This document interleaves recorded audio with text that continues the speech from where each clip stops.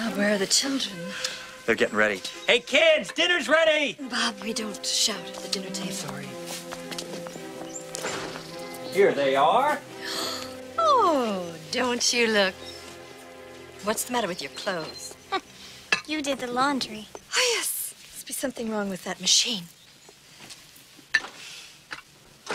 Here she is.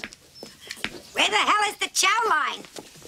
Well, good evening, Mrs. Fisher. Andy, why don't you get up and get you another chair? Uh, at ease, Gomez. It's Bob.